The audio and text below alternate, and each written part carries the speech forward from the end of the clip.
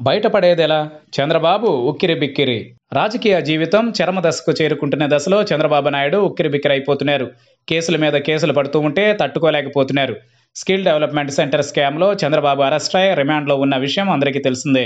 ఎన్నికల దగ్గర పడుతున్న సమయంలో తనను జగన్మోహన్ రెడ్డి ప్రభుత్వం అరెస్టు చేస్తుందని చంద్రబాబు ఏమాత్రం ఊహించుండరు. అనంతపురం పర్యటనలో ఒకటి రెండు రోజుల్లో తనను అరెస్టు చేయొచ్చని అన్నారు.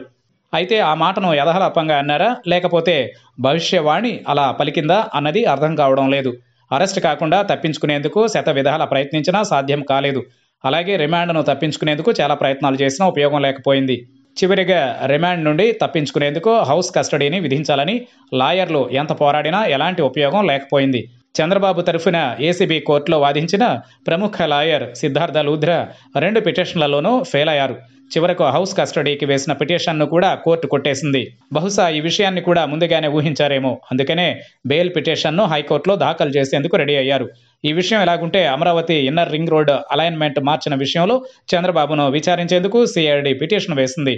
దీనిపై విచారణ జరగబోతోంది. ఇందులో ఏవన్గా చంద్రబాబు ఏటూగా మాజీ మంత్రి నారాయణతో పాటు లోకేష్ కూడా ఉన్నారు.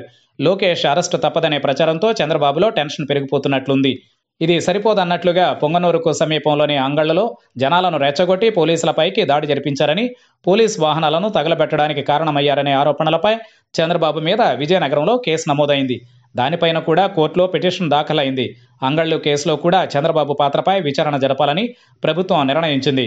కోర్టులో పిటిషన్ వేసింది. దీనిపైన కూడా చంద్రబాబు లాయర్లకు కోర్టు నుండి నోటీసులు అందాయి. మొత్తానికి వరుసబెట్టి కేసుల మీద కేసులు వేసి విచారణకు అప్పగించాలని పిటిషన్లో వేయడం ద్వారా చంద్రబాబును ప్రభుత్వం ఉక్కిరిబిక్కిరి చేస్తోంది. ఈ పరిస్థితి నుండి చంద్రబాబు ఎలా బయటపడతారో చూడాలి.